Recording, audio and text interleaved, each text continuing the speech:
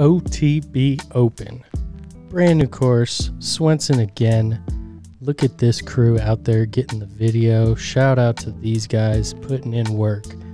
Here's a nice view of the 18th fairway. Par 4, 800 feet. You can go way out to the left here and get yourself a look, an easy approach to the green from there, but the trust that they're putting in there might come into play. So this will be one of the more common routes going all along the right side. Nice little tunnel shot to finish. You'll see shots ending up right in this area. And then you're looking at a long approach to the green. There's a ball golf green on the left side that's OB. It's perched a little bit on the hill, so you'll see some rollaways. If you get squirrely and go way right, there's another green, but that's not really into play too much. This should be a fun finish, especially after 17.